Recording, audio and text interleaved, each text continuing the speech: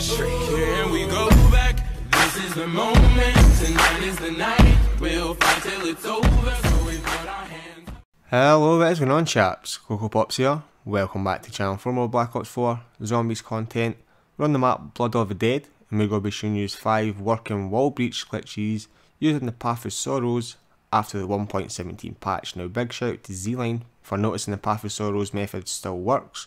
Unfortunately the solo method where you just run in towards the walls and double tap pause is patched. You're going to have to use the Path of Sorrows to do this glitch now which is pretty much the downfall to it because you can only use one special weapon. But regardless, it's pretty OP and I'm going to show you how to do it anyway. You want to make your way over towards the Michigan Avenue, you want to pull out your Path of Sorrows, make sure it's at stage 2 so you can dash in towards the wall. And as you dash in towards the wall, you want to double tap pause and if you've done it correctly at the right time, as you can see you're going to go through the jail cells after the 1.17 patch. Now you can make all the zombies pile up just in this one location here, or you can do it in multiple other locations around the map on Blood of the Dead. There's quite a lot of jail cells you can get into.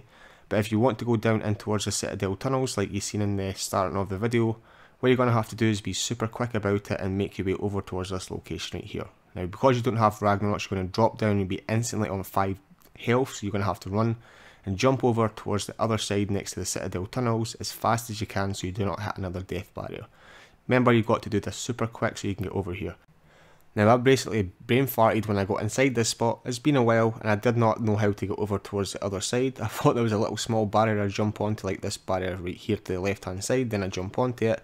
But all you have to do is simply run and jump onto the barrier from this barrier right here you can see in the video and you should land on top of this inside the pillar sorry right next to all the zombies. Now you can click the drops inside here I'm just going to play the video through, show you the other spots. It's the exact same method, dashing into the walls as you double tap the pause. There's five locations altogether. I'm just going to play the video through. It has been Coco Pops. Drop a comment, subscribe if new if you thought the video was helpful, and I'll catch you guys in the next one. Enjoy. Bye bye.